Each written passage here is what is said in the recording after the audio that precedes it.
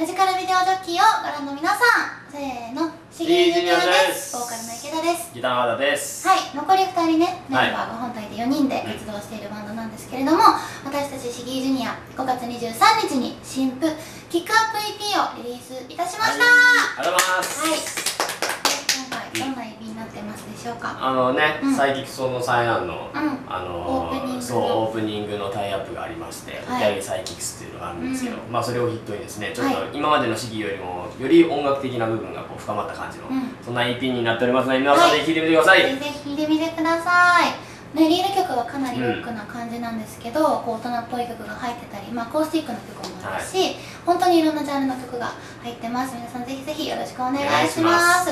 そしてこれに伴いまして夏にうん。ワンマンツアーが決定しております。よろしくお願いしますことで、はい。あの大阪ではですね7月20日梅田クラブクワトロにやってまいります。シギージュニアライブツアー2018ステップバイステップサマーバージョンということでもうかなり熱いライブを皆さんにお届けいたしますので皆さんぜひ遊びにいらしてください。お願いします。ということで以上シギージュニアでした